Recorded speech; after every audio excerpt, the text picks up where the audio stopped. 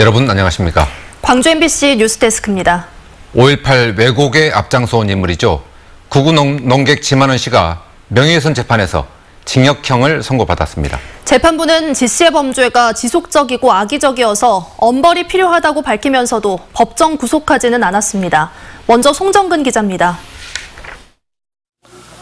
5.18 민주화운동 당시 시민군으로 활동했던 시민들을 광주에서 활동한 북한 특수군 광수라고 여러 차례 비방한 혐의로 재판에 넘겨진 지만훈 씨. 서울중앙지법 형사 11단독 김태호 판사는 명예훼손 혐의로 기소된 지 3년 10개월 만에 징역 2년과 벌금 100만 원을 선고했습니다. 재판부는 북한이 개입했다는 객관적인 증거가 전혀 없고 지 씨는 자신의 주장을 뒷받침할 자료를 제출하지 못하고 있다며 5.18 민주화운동의 역사적 의의와 가치를 폄하하는 것으로 볼 수 있어 비방 목적도 인정된다고 말했습니다. 재판부는 또 지 씨가 천주교 광주 대교구 정의평화위원회를 신부를 가장한 공산주의자들이라고 비방한 혐의와 영화 택시운전사의 실존 인물인 고 김사복 씨를 빨갱이라고 적시해 명예를 훼손한 혐의에 대해서도 유죄를 인정했습니다. 뿐만 아니라 북한 이탈 주민 A씨가 위장으로 탈북한 것처럼 인터넷에 글을 올린 혐의와 재판을 보러 온 5.18 민주화운동 관련자들에게 상해를 입힌 혐의도 모두 유죄로 인정했습니다.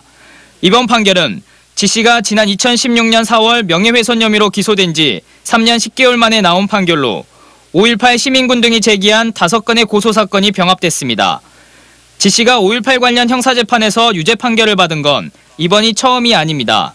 지난 2002년 광주 사태는 북한 특수부대원들이 선동한 폭동이라고 신문에 허위 광고를 해 대법원에서 징역 10개월에 집행유예 2년을 선고받았고 2013년에도 인터넷 게시판에 김대중과 김일성이 짜고 광주에 북한군을 보냈다는 허위 사실을 유포한 죄로 대법에서 징역 6개월의 집행유예를 선고받았습니다.